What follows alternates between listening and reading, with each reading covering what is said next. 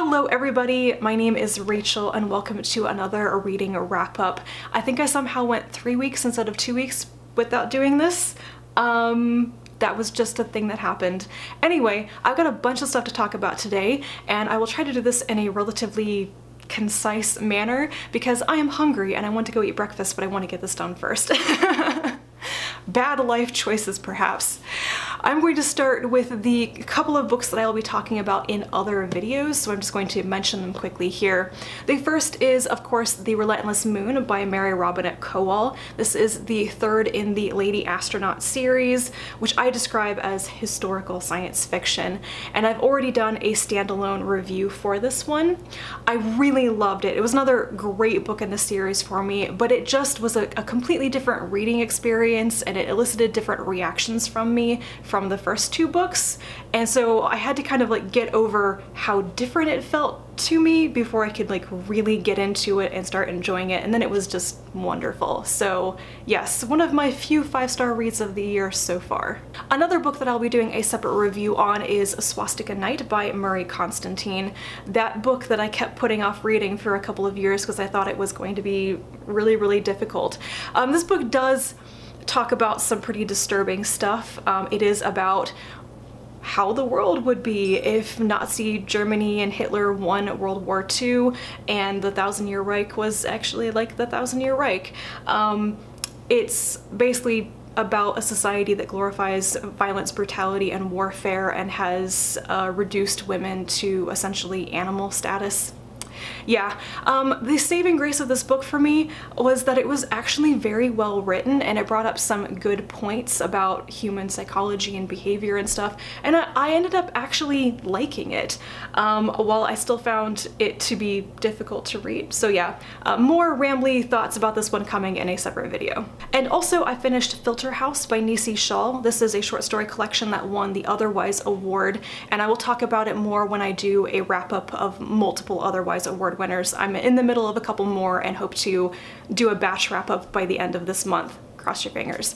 Um, so this short story collection, I really enjoyed it and I was so happy that I did. I've had varying experiences with Shawl's fiction and especially like short stories in the past, but I've enjoyed their nonfiction and essays a lot more. And so I was actually kind of surprised that I super enjoyed a bunch of the stories in this collection. It's mostly outright fantasy and science fiction and yeah I think a couple stories from this are definitely going to stick in my mind which is usually the sign of a good collection for me. Alright, moving on to the other things now that I will actually be talking about in more detail. Um, first up is probably my favorite nonfiction book of the year so far, and that is The Disordered Cosmos by Chanda Prescod-Weinstein. I've talked about this before in like a book haul, and I think on some of the Stitch and Bitch live shows and stuff like that. Um, I just really loved and like needed the perspective of this book. Um, Chanda Prescod-Weinstein is one of the few black women with a PhD in physics in the United States. And this book is, I, I think the, the thing that makes this cohesive is it is her perspective, her experience of science and the scientific community as a black woman facing a lot of challenges and obstacles and everyday aggressions that basically white men don't have.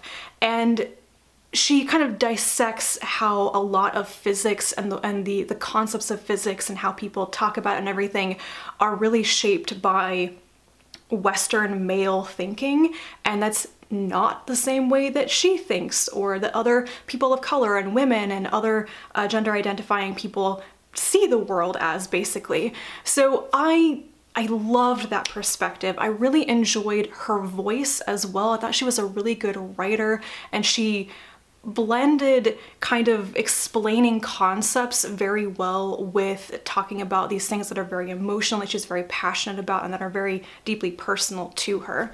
If there's any flaw to this book perhaps, it's that I'm not sure it knows exactly what it wants to be. It starts off feeling a lot like a popular science nonfiction book actually explaining concepts of physics and then it moves more into like memoir territory, much more deeply personal about her life. And then it turns also into this kind of like call for change in the scientific community. And so I really don't know what to describe the book overall as perhaps it's better to approach it as a series of essays because I think a lot of the material in the book comes from essays and, and articles and stuff that Prescod-Weinstein had published before. That's what I'm kind of guessing. So I just, I, I loved what I got out of this book and I so deeply appreciated seeing the way that science is done and how the scientific community and academic scientific community works from her perspective, which is not the dominant perspective or narrative in the sciences. I, we need more books like this basically is what I'm saying. So I super enjoyed this. If you really enjoy a lot of popular science nonfiction, I think this is a good one to pick up to kind of balance perspectives a little bit. Next up, I read a young adult fantasy novel called Deeplight by Frances Hardinge, and I enjoyed this one, but I didn't find it to be particularly original, especially with kind of the, the plot structure and the character arc in it. Um, I read this with some friends and we discussed it and a lot of us actually agreed that while the world building and the, the writing of this book was magnificent, um, the actual plot was not that different from things we'd read before. So this follows a young boy, I think he's actually about 14 in the story, his name is Hark, and he lives in this like um, island nation called the Myriad, which had previously been like terrorized by their gods, like these deep sea creatures that continually ravaged the islands but also helped them and the, the priests keep the gods at bay. And then there was this calamity where the gods fought each other and then died.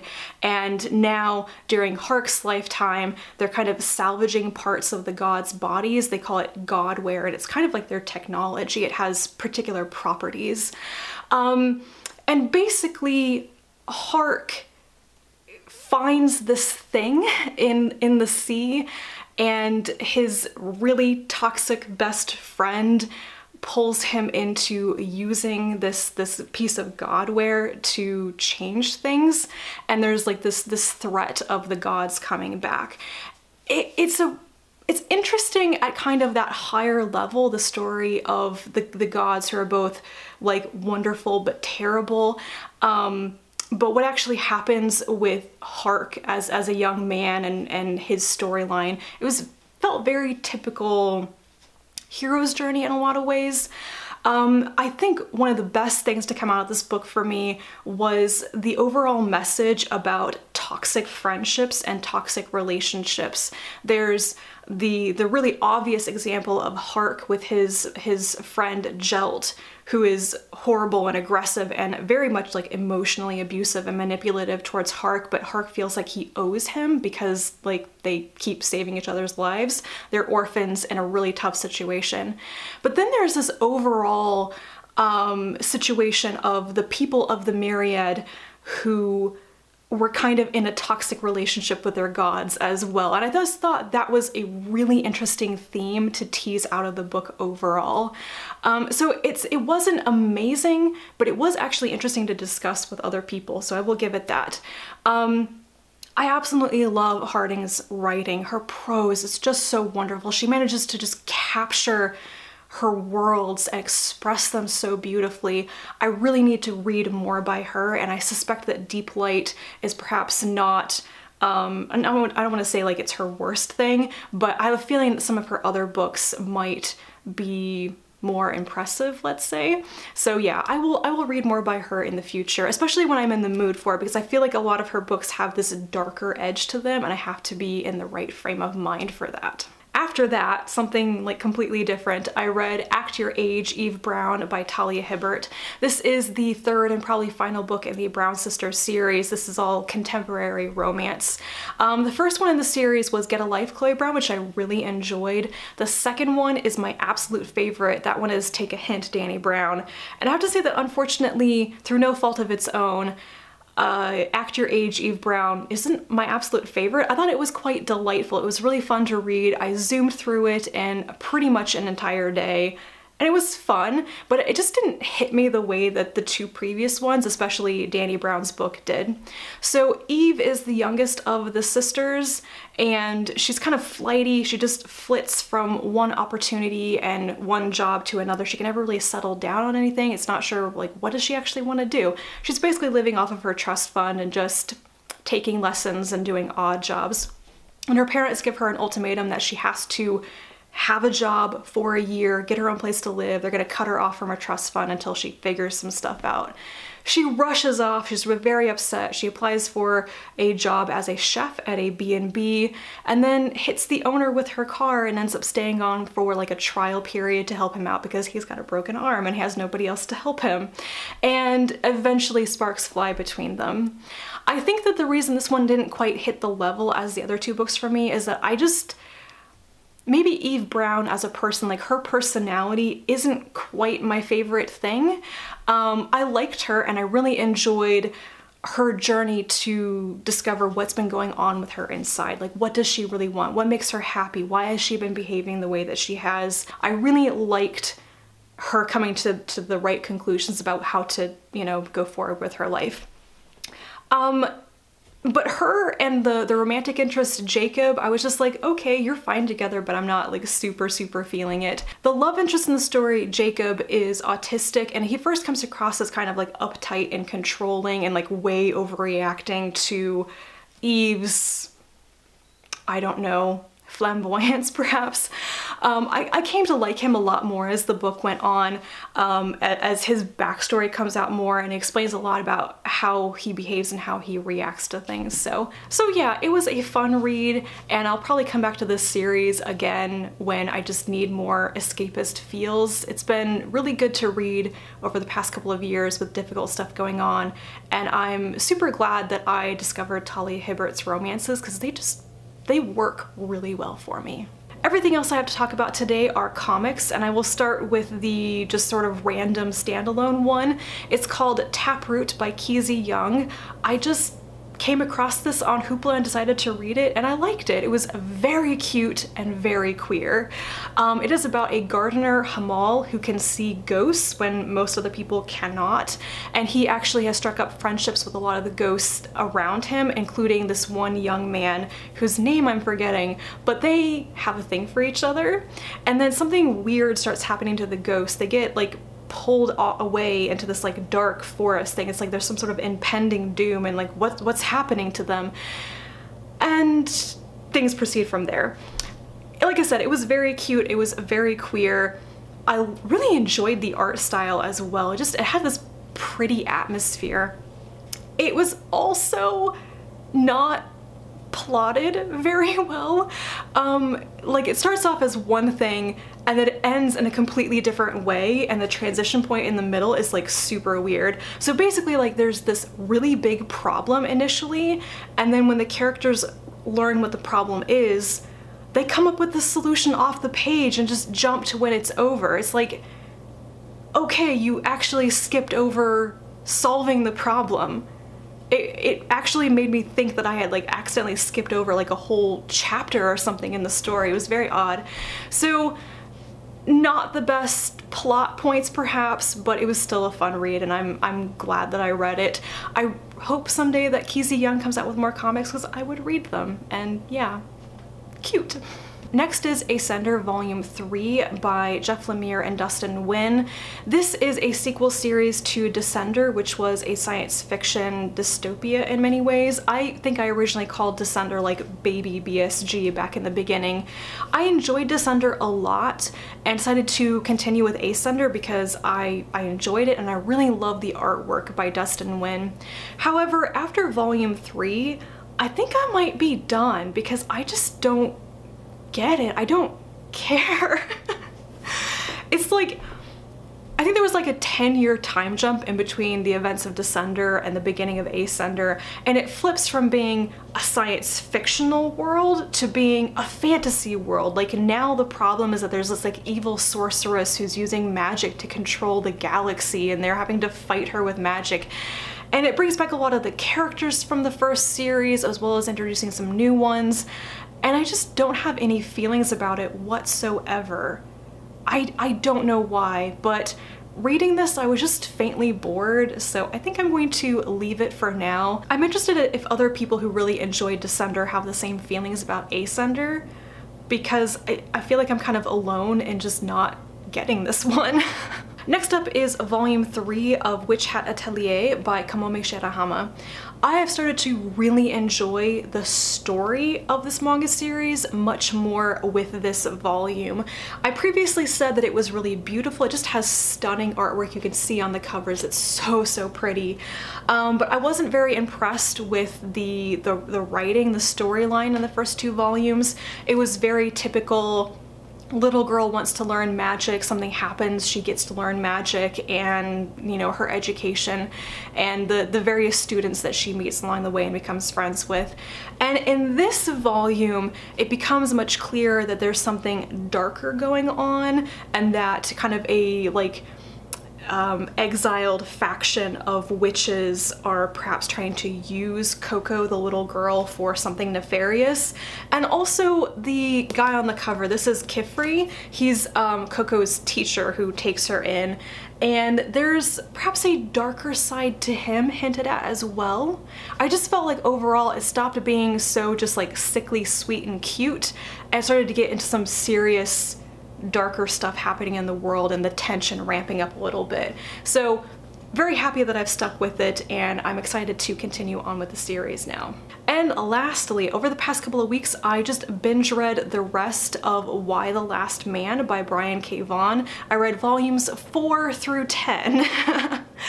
Um, so this is a science fiction dystopia series about how a virus instantaneously kills all men and all male mammals in the world, and, except for one man and his male monkey, and they set off on this journey to find out why they survived when all the other males did not. So the first half of this series is roughly this man, Yorick, traveling across the country from like Washington DC to California with a government agent named Agent 355 and a scientist named Dr. Allison Mann. They're headed out to California to um, Dr. Mann's like backup facility where her research data is, where she's going to study Yorick. The second half of the series is then kind of like international where they head off to like Australia, Japan, and France to pursue more leads, more clues, and to find people. And this is like pretty much the definition of adventurous comic for me. It was really engaging. I kept wanting to read it things were always happening. There's a lot of humor in it as well. Yorick is, he starts off as just like this really immature man-child with a penchant for like amateur magic tricks and stuff and he's literally got a monkey. and over time he grows up somewhat and has to confront some difficult things about himself and his own his own feelings about being the last man and the pressures on him and and all of that. There's some really dark stuff that happens in this because you know lots of people die and then they keep dying. Um, and yeah, like I I enjoyed reading it. I also have massive problems with a lot of the subject matter in this. I mean, I think just overall, for a story about how just like all that's left are women and like the absence of men this like the artwork in this and a lot of the situations in the story just completely objectify women and women's bodies. All of the women are so sexualized.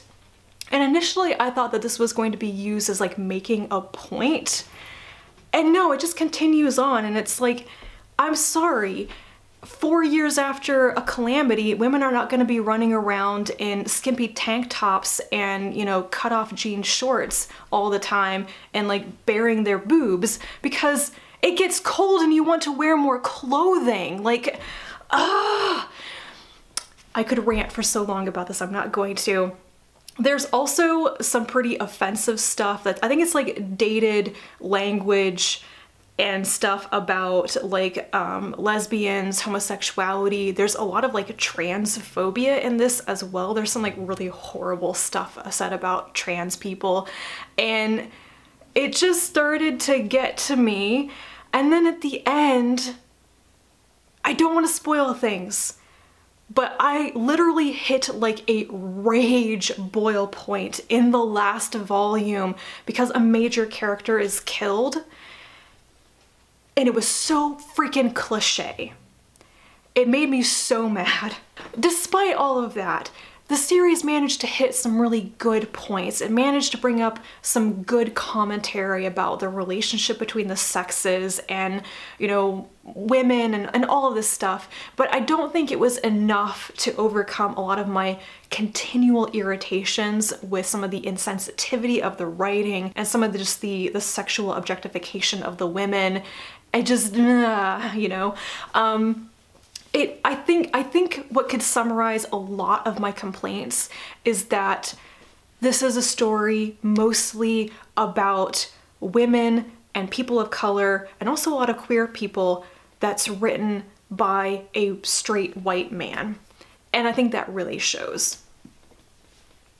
You know, so I do enjoy a lot of Brian K. Vaughan's work and I'm very glad that I finally read this series because I think it was fun and worth reading. I just wish that I didn't have so many complaints about the constant irritations after the fact, but whatever. I read the thing. And that is pretty much it for me. I don't know what I'm gonna be reading now because I've blasted through like a whole bunch of the comics on my Hoopla favorite list and now I gotta go like read some novels. Such hardships, you know? But anyway, that is pretty much it for me this week. So let me know if you have read any of these things I've talked about today. Leave me a comment down below. Thank you as always for watching and I'll be back very soon with another video. And until then, bye.